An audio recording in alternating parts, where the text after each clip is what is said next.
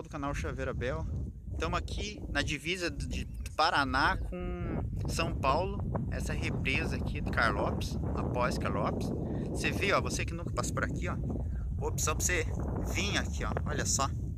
Esse quase, pode dizer que é uma represa de gigantesca. Olha o tamanho, meu irmão. Então, você que tá vendo esse vídeo aí, ó. Olha que represa linda de Carlopes. Olha só. Isso aqui deve ter só, só de, de, de, de dimensão. Isso aqui tem mais de, de 3, 4 quilômetros só de, só de, de pista. Isso aqui é o rio. Uma das bacias, né?